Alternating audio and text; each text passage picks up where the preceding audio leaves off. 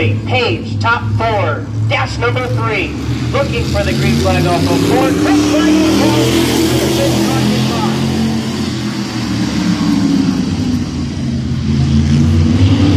Bailey looking to the inside.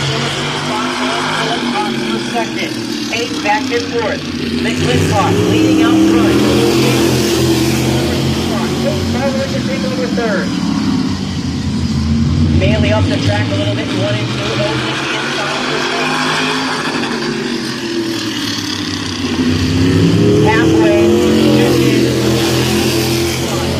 Page, Hancock, your top four.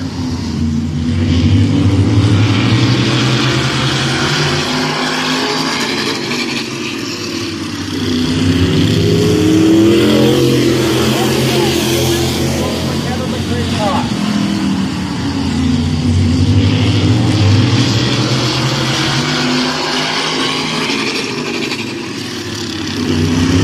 Off the board,